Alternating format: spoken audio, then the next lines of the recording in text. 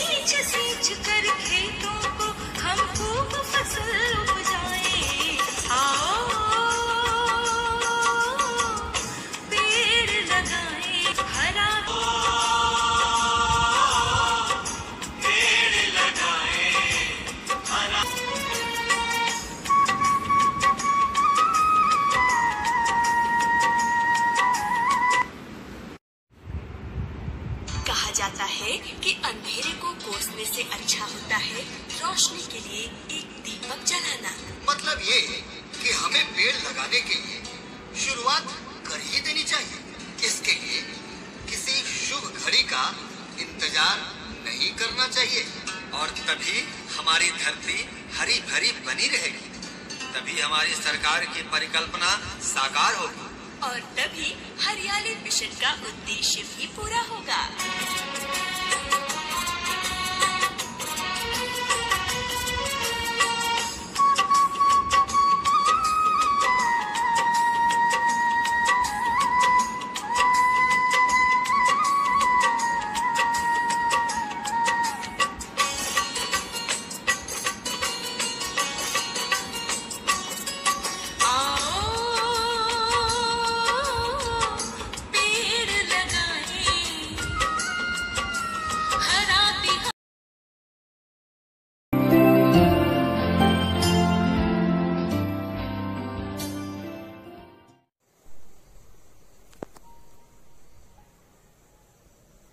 नमस्कार दोस्तों। आज विश्व पर्यावरण दिवस के उपलक्ष्य में आप सभी सभी लोगों को मैं बधाई और शुभकामना देते हूँ।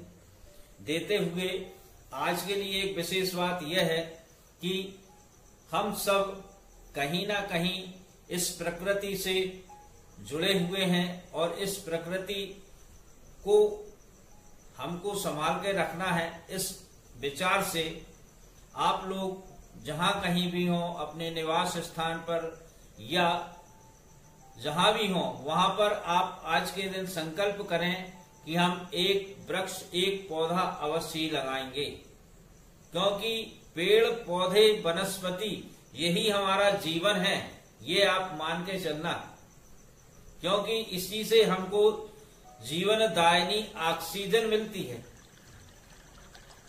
हमारे गुरुदेव नीम करोली वाले बाबा ने भी यही एक उपदेश दिया था, बहुत सार्थक रूप से, कि बच्चों, जहाँ भी रहो, पेड़ पौधों को आप सुरक्षित रखना, संरक्षित रखना, यही हमारा जीवन है, और यही हमको सारे विश्व को ऑक्सीजन देने वाला, जीवन देने वाला है। यही एक आधार है विश्व का, इसको आप सुरक्षित रखेंगे।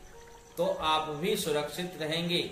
मानव जाति सुरक्षित रहेगी। ये हमारे गुरुदेव नीम करोली वाले बाबा ने उपदेश दिया था। आप लोगों से भी निवेदन है कि इस पर्यावरण दिवस के उसमें आप संकल्प लें कि एक वृक्ष हम अवश्य लगाएँगे। इसमें कोई कठिनाई नहीं है। इसमें कोई कठिन कार्य भी नहीं है।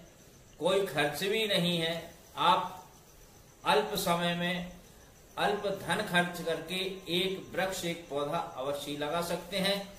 इसी के साथ आज आपको कुछ उपाय भी, जीवन उपयोगी उपाय भी आप लोगों को बताते हैं। गुरुदेव की कृपा से वर्तमान समय में जो समय चल रहा है महामारी का, उसमें हमारी इम्यूनिटी बढ़ी हुई होना चाहिए।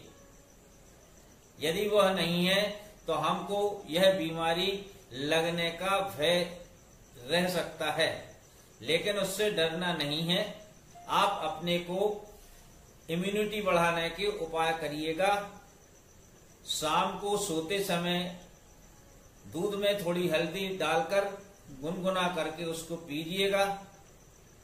इसी प्रकार काली मिर्च जो सब लोगों ने इसका नाम सुना होगा, जो हमारे किचन में प्राप्त होती ही है, उस काली मिर्च के कुछ उपाय हम आपको बताते हैं।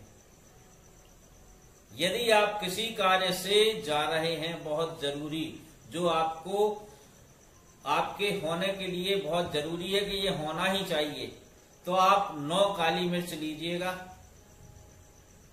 अपने गुरु मंत्र का जाप करें और उस पर फूंक मारे और उन नौ काली मिर्ची को आप खा लें, पानी नहीं पिए, उसका जो रस जाएगा शरीर में, उसको आप जाने दीजिएगा, कोई भय की बात नहीं।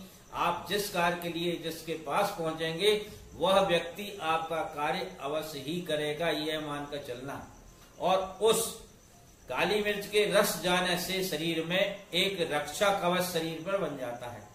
किसी भी प्रकार का कोई वायरस हो, वह आपके शरीर में प्रवेश नहीं करेगा। एक, दूसरी बात यह है कि यदि आप कर्ज में डूबे हैं या कर्ज है आपके ऊपर तो ये उपाय आप अवश्य करें। आप ग्यारह काली मिर्च लें, अमावस्या हो या पूर्णिमा हो। ग्यारह काली मिर्च और गोमती चक्र भी नाम सुना होगा आपने। ग्यारह गोमती चक्र भी लें और ग्यारह ताजे गुलाब के फूल। इन सबको आप एक पीले वस्त्र पर रखकर, इन सबको आप पीले वस्त्र पर रखकर इनके ऊपर आपको गायत्री मंत्र 21 21 बार पढ़ना है। तीनों चीज़ों पर और उसके बाद एक मंत्र और है। ओम श्रीम श्री नमः। यह भी आपको 21 21 बार पढ़कर उन पर रखना है और उस पीले वस्त्र को आप पोटली बनाकर अपने पूजन स्थल पर रखें, अपने गले में रखें और धूप दीप देकर विधिवत उसको अपने गले में रखें। आपको यह देखकर आश्चर्य होगा कि कुछ ही दिनों में धन आगमन होना शुरू हो गया है और कर्ज आपका कब, कैसे खत्म हो गया, ये आपको पता ही नहीं चलेगा। तो दोस्तों, यह दो उपाय आपको बताएँ और फिर से मैं आपसे निवेदन करता हूँ कि यह देखिए, ये एक पीपल का वृक्ष है जो हमने आज लेकर आए हैं और इसको हमको लगाना है और हमने इसको गमले में लगाया है। इसके नीचे एक छोटा पीपल का वृक्ष है इसको पारस पीपल बोलते हैं, पारस पीपल। देखिएगा, ये। ये एक बड़ा पीपल का पौधा, उसके नीचे एक छोटा पौधा है, वह पारस पीपल है। इस पारस पीपल की विशेषता, इसके नीचे अमावस्या हो, पूर्णिमा हो चौदह हो, आप सरसों के तेल का दीपक जलाएँ। चार बत्ती वाला दीपक जलाएँगे तो बहुत अच्छा रहेगा। ठीक है? ये छोटा पौधा है, इसका पीपल का वृक्ष बहुत विशाल होता है, आपकी कोई समस्या है, वह निश्चित रूप से दूर हो जाएगी, उसका समाधान होगा। एक उपाय और सुन लीजिए आप आज के दिन विशेष। किसी गुरुवार के दिन एक जटा वाला नारियल ले और एक नारियल की गिरी, जो नारियल के अंदर नारियल गोला कहलाता है। उस नारियल गोले को थोड़ा सा काटकर मुँह बनाए ऊपर, उसमें आधे में शक्कर, आधे में घी शुद्ध भरकर वो ढक्कन लगाए और एक कोरे शुद्ध सफ़ेद वस्त्र में उसको बांधे और बांधने से पहले सफ़ेद कोरे कागज़ पर अपनी समस्या, एक ही समस्या लिखना है। लिखकर उसके अंदर रखकर उस सफ़ेद कपड़े में बांधकर और उसको, गुरु, ये सब आपको एक दिन पहले तैयारी कर लेना गुरुवार के दिन सुबह आपको कोई टोके नहीं कि आप कहा जा रहे हैं, क्या कर रहे हैं। और मान लो आपको कोई मिल भी जाए तो आप उसको उत्तर नहीं देंगे। आप चुपचाप जाकर किसी वृक्ष, पीपल वृक्ष के नीचे, उसको किसी लकड़ी के औज़ार से खोदकर पीपल वृक्ष के नीचे जड़ में उसको गाड़ देना है। और एक जो जटा वाला नारियल लिया है, वह आप वहाँ पर रखें। साथ में जल का लोटा भी ले जाए और जल चढ़ाए। पीपल वृक्ष से, ब्रह्मदेव से आप प्रार्थना करें कि मेरी यह समस्या है, इसके लिए आपसे मैं अर्जी लगाने आया हूँ।